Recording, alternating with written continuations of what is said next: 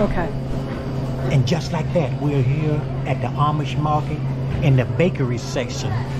It's crazy in here. Check out all the nice baked cookies, cakes.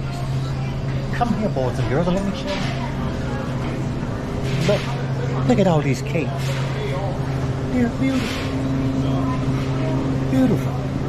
I've got to get some and I'll share it with you later. And just like that, Okay.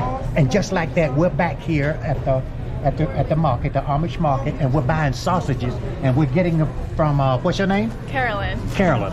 And you know, they got some of the best food in the world. So check us out on YouTube and stay right there. And just like that,